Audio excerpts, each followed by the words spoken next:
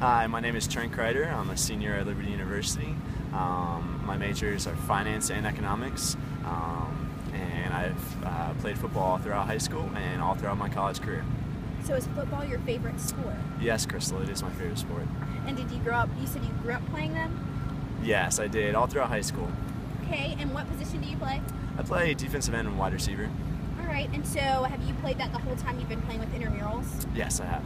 Okay, what team are you on? I am on that team Doe.